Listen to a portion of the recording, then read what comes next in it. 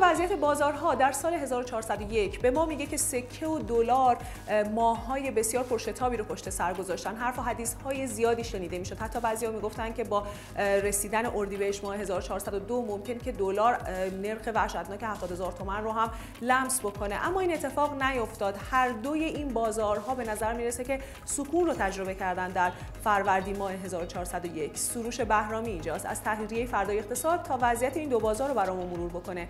و دلیل شاگرد آخر شدن اونها در اولین ماه سال 1402 رو برامون توضیح بده.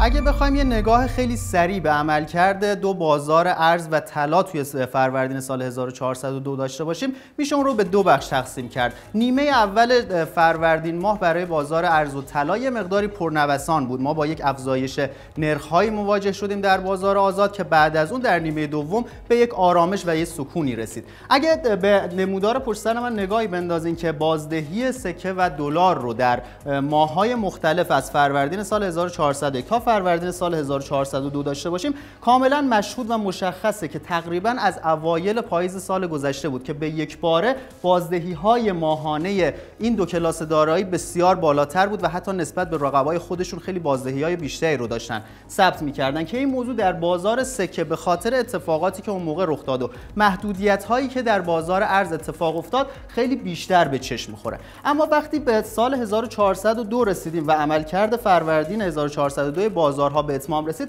می‌بینیم که دلار تنها یک رشد 8.1 دهم درصدی رو توی بازار آزاد به خودش اختصاص داد و سکه هم فقط تونست یک رشد 5.3 دهم درصدی رو در قیمت خودش داشته باشه. دلیل این موضوع رو میشه از مباحث مختلفی بررسی کرد اما مهمترین عامل این اتفاق رو میشه به توافق ایران و عربستان سعودی ارتباط داد که میشه یک گفت که یک حداقل خوشبینی به احتمال افزایش توافقات در سطح سیاسی و دیپلماسی کشور اتفاق بیفته و این موضوع یه مقداری خوشبینی ایجاد کرد که شاید بازارهای سفته بازی مثل بازار دلار و سکه با یک آرامشی مواجه بشن. از سمت دیگه محدودیت هایی هم که در بازارها اتفاق افتاد و سیاست هایی هم که در سیاست های اقتصادی و ارزی کشور رخ داد مثل راه اندازی مرکز مبادله ارزی تغییر شیوه خرید ارز با کارت ملی و اتفاقاتی از این دست باعث شد که حبابی که در این بازارها شکل گرفته بود به یک باره تخلیه بشه و افزایش ها به اندازه بازارهای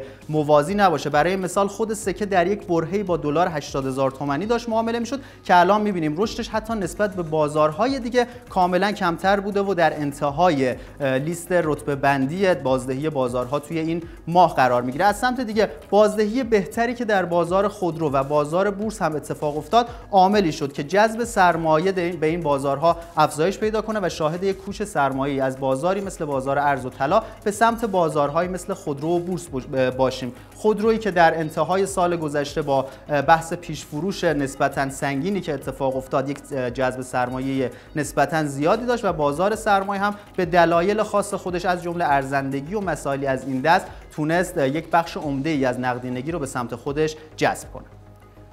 از حرفات اینطوری برداشت می‌کنم که یک آرامش نسبی در بازار ارز و سکه برقرار شده. چقدر می‌تونیم به تداوم این آرامش در ماههای آینده سال امیدوار باشیم؟ می‌تونیم بگیم که اون روزهای پیشبینی های وحشتناک رو پشت سر گذاشتیم؟